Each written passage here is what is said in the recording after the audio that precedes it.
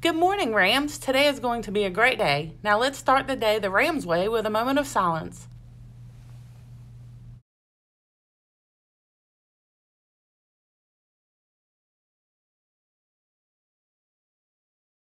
Please stand for the Pledge of Allegiance.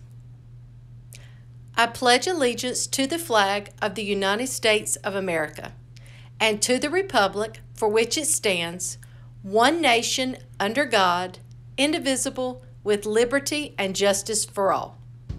Good morning, Rams. It's Ms. Breitenbach and Ms. Hassick, and we're here on Wednesday morning for Counselor Corner. We love celebrating things here at Cleveland Middle School. April is National Poetry Month, School Library Month, and today is actually School Librarian Day. If you don't mind, please be sure to stop by the Media Center or you can email Wes Womble, our awesome media specialist, and just let her know how much you appreciate all she does for our school. It is also Child Abuse Prevention Month. If you have any questions ever about child abuse and prevention or awareness, please come see Ms. me or Ms. Breitenbach. You may see blue pinwheels around our community that bring recognition to child abuse prevention. Thanks so much, Ms. Hassick and Ms. Breitenbach.